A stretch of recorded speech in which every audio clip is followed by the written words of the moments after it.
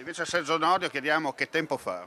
Ma il tempo adesso è tranquillo, abbiamo una condizione assolutamente stabile in questi giorni, correnti secche che hanno portato anche un abbassamento della temperatura. Viviamo questo periodo con delle ondulazioni e fra due o tre giorni tornerà aria un po' più mite e torneranno anche delle deboli precipitazioni, soprattutto eh, nella giornata di martedì, scusate, e anche un po' di neve in montagna, diciamo che ci avviamo ormai verso l'inverno.